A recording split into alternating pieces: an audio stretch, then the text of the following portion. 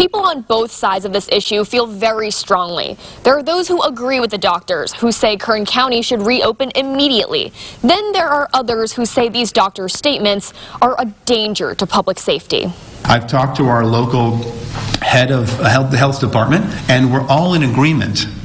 But we need to have Governor Newsom in agreement with us to lift this ban. Our director has not concurred with the statements that were made yesterday about the need to reopen at this time. Doctors Dan Erickson and Artin Massihi own the largest testing site in Kern County, Accelerated Urgent Care. The Centers for Disease Control, the top medical minds of our nation, the World Health Organization, our local state officials, the guidance is clear. Yet the doctors disagree with this guidance. So public health insists you do not adopt their ideas. You can be asymptomatic and not know you're sick, and you can be spreading COVID 19. Doctors Erickson and Massihi believe everyone without symptoms should return to work immediately. Public health disagrees.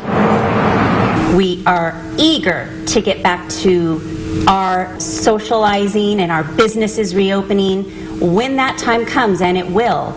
We will follow the governor and we will do it safely and carefully. Public health worries that encouraging people to leave home will only prolong the time we have to stay there. Through social distancing, that is the one thing we can do to impact this curve and not burden our healthcare system and hopefully get back to our daily lives as soon as possible. And public health says COVID 19 is a good reason.